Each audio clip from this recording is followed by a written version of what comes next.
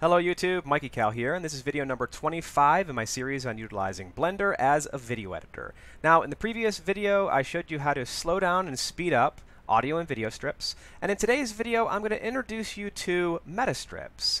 And in particular, I'm going to show you how you can use metastrips to apply an effect to multiple image or video segments all at the exact same time.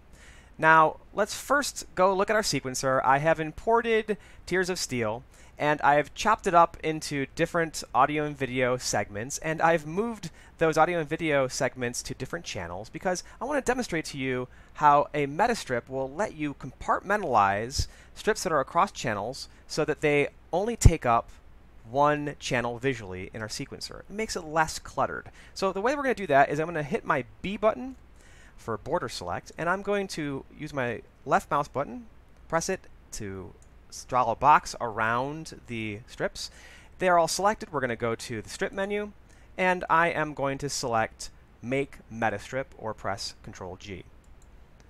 And you'll notice now that it has taken all those strips and it is now showing them as a metastrip, and it's only taking up one channel. Now we can right click on this metastrip and we can hit the tab button and it will unwrap and show us what the contents of that metastrip are.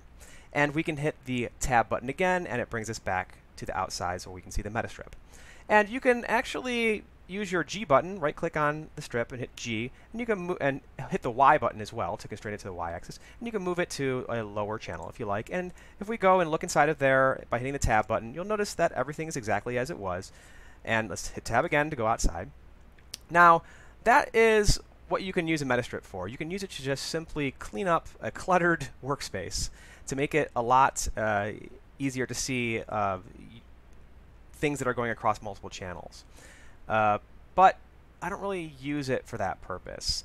What I use it for is I use it to apply an effect across multiple strip segments. So let's right click on our meta strip and go to strip menu and we're going to select unmetastrip and this will return us back to uh, the layout that we had before we made the metastrip.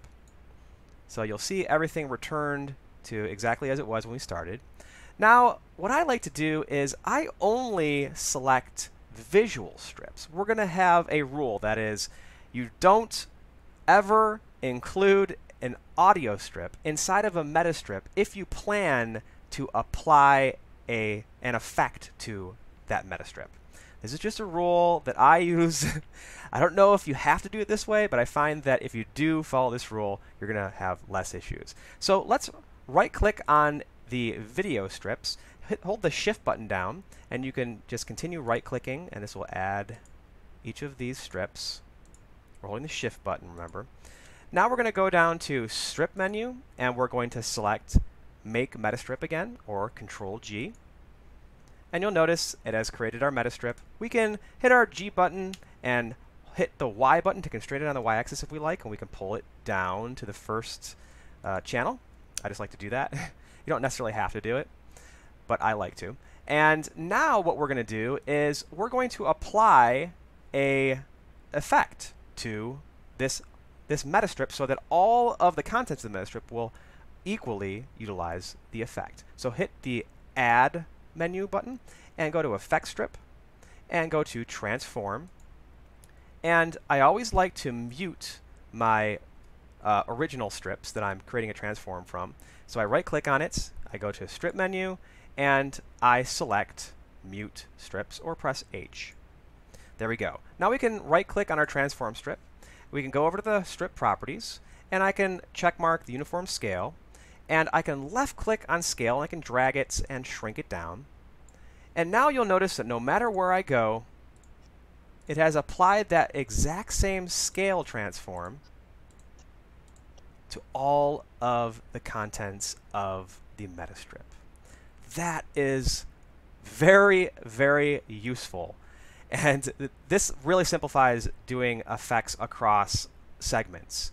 So that is how I like to personally use metastrips. I will see you guys in the next video.